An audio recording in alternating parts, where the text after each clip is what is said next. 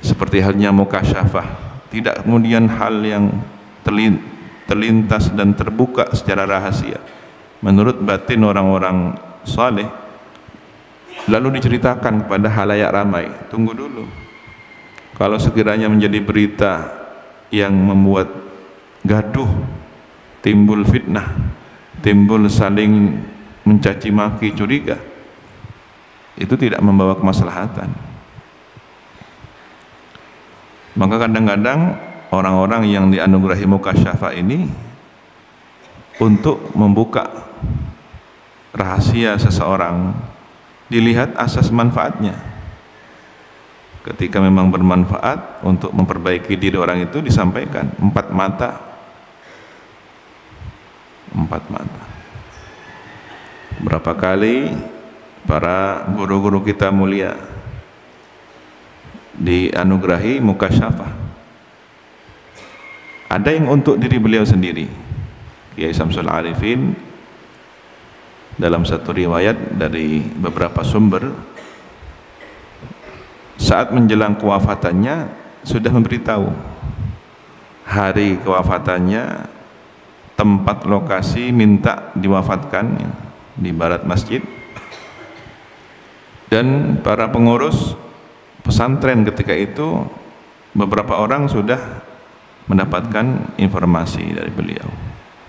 Sedangkan Kiai As'ad masih sedang ditahan oleh Belanda dipenjara oleh Belanda dengan berbagai tuduhan. Begitu juga Kiai As'ad beberapa kejadian menunjukkan mukasyafah beliau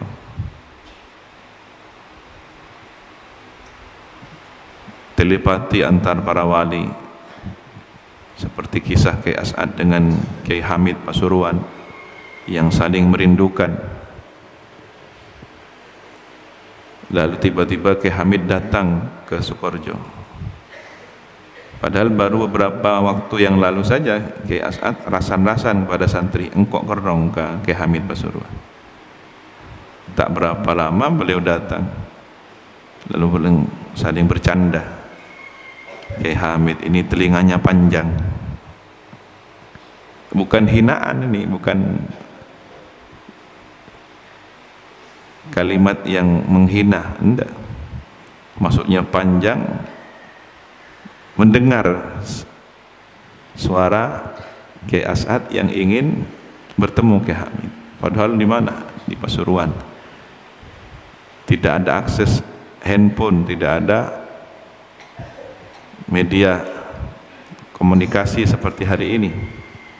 Dan itu baru diucapkan di di musola turun dari musola pengajian beliau menyampaikan rasa rindunya. Dengan tawaduk dan bercanda Kiai Hamid bukan bukan saya yang panjang telinganya. Lisannya sampean yang panjang sampai ke Pasuruan ya bukan benar-benar lisan memanjang begitu. Bukan makna hakiki tapi majazi bahwa di situ suara hati Kiai As'ad sampai terdengar. Dan itu tasliyah hiburan. Jadi muka syafah karomah bagi para wali Allah. Bukan kebanggaan tapi digunakan sebagai penguat perjuangan pelipur lara sehingga ada hiburan untuk semangat kembali berjuang. Kiai Fawaid juga begitu. Beberapa orang dikasyaf yang mungkin pernah mendengar ceramah siapa tuan guru beberapa waktu yang lalu masih menjadi keamanan di pesantren. Ada pertemuan di aula lalu Kiai Fawaid tanya kepada para pengurus termasuk keamanan. Mari santri yang ampun.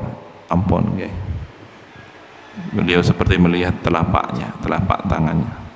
Ada ki ya dengan tengah alas kentare dan betul ada santri oknum santri di tengah hutan entah sedang bermain silat atau main bola tidak tahu. Padahal waktu itu sedang ada kegiatan pesantren begitu juga para kekasih Allah. Dikisahkan Ki Hasim Zaini Paiton Tancung ada santrinya nyeletuk ingin menguji kewalian sang guru. Ya kadang-kadang aneh santri oknum santri itu. Penasaran antara yakin dan tidak tentang karomah gurunya. Di bis naik kendaraan bis lalu dia sengaja menggoda wanita di atas bis itu dengan cara-cara tertentu pelecehan di atas bis yang tidak ada orang mengetahui mungkin kecuali si wanita tersebut sebagai korban pelecehan. Ya kadang-kadang ada saja kesempatan dalam kesempitan. Ketika antri berdesak-desakan itu pikiran nakal macam-macam berpura-pura antri padahal modus ya. lalu di hatinya terpersit. Ah tidak mungkin. Kalau memang Ki Hasim Zaini Waliullah saya pasti ketahuan nakal seperti ini. Turun dari bis masuk ke pondok. Tiba-tiba dipanggil oleh teman kamarnya kamu dipanggil kiai. Kaget ada apa tumben kiai manggil saya? Dari ribuan santri kok kemudian saya dipanggil secara khusus? Dipanggil dimasukkan ke kamar. Tidak ada orang yang tahu. Lalu dipegang kemaluannya. Jaga kemaluanmu ini ya. Uh, keringat dingin. Langsung ketahuan. Hati-hati menjaga batin murid terhadap pandangan batin guru. Boleh jadi gurumu itu tahu tentang batinmu tapi dia tidak mengungkapkannya sebagai rahasia yang ditutupi. Tetapi didoakan ditangisi agar engkau menjadi orang yang diberi petunjuk tidak semua kemudian dibeberkan diomongkan karena itu aib seseorang kadang disampaikan secara umum general perbuatannya kesalahannya, tidak individunya. Maka waspada, dengarkan, pahami bahwa itu ada pelanggaran yang bisa menular menjadi penyakit virus di kalangan para santri. Kembali kepada ayat bahwa ketika setelah tiba azab itu Allah seleksi orang-orang khusus yang selamat Nabi Hud dan orang-orang yang beriman.